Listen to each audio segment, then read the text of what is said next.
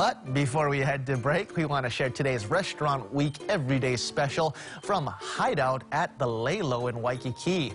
Get their traditional turkey dinner featuring smoked pork stuffing and lilikoi cranberry sauce for just $28 a person. Mm. That whiskey ginger cake that you're looking at is also at an extra cost. Pre, so pre-orders are encouraged. To check out all of our deals for Restaurant Week Hawaii, please log on to restaurantweekhawaii.com.